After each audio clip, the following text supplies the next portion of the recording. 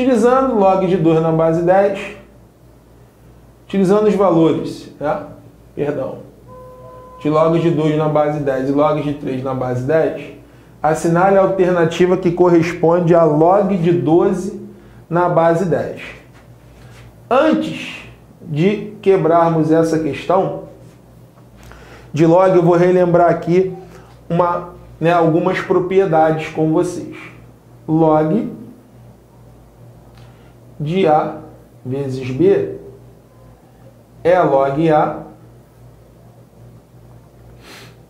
Deixa eu colocar aqui. Log de A vezes B é log A mais log B. Né?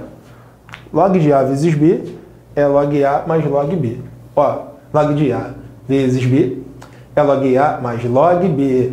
Log de A vezes B é log A mais log B. Repete, log de A vezes B é log A mais log B. É isso aí, musiquinha do log. Né? Então, log de A vezes B é log A mais log B, ou seja, o produto vira o quê? Uma soma. E a famosa regra do peteleco, né? A regra do peteleco, né? Regra do peteleco.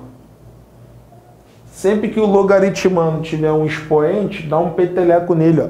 Puf! Aí ele cai, ó, multiplicando. Regra do peteleco. Tem expoente, dá um peteleco, ó. Puf! Aí esse cara, ele cai multiplicando. Basicamente, nas questões de log, essas são as propriedades que nós usamos. E aqui não vai ser diferente. Log de 12 na base 10. Aí, primeira situação aqui, pessoal, do log de 12 na base 10. 12 não é a mesma coisa que 4 vezes 3? Sim ou não? Só que nós aprendemos o seguinte, o produto ele vira uma soma.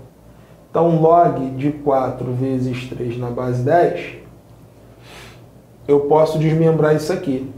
Porque o produto, ele vira o quê? A soma. Então, vai ficar log de 4 na base 10, mais log de 3 na base 10. Perfeito.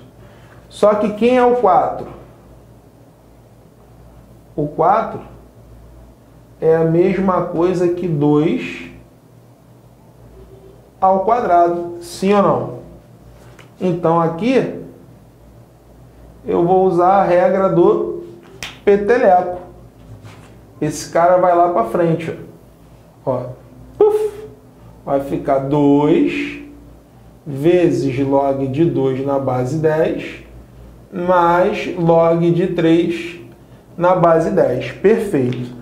Agora é só substituir. Log de 2 na base 10 é 0,30 e log de 3 na base 10 é 0,47. Fazendo aqui a continha, vai ficar 2 vezes 0,30, vai dar 0,60, mais 0,47. 0,60 mais 0,47 vai dar 1,07. Olhando lá as opções, qual é o gabarito? Letra Charlie. Gostaram da musiquinha do log para você decorar? Log de A vezes B é log A mais log B. Log de A.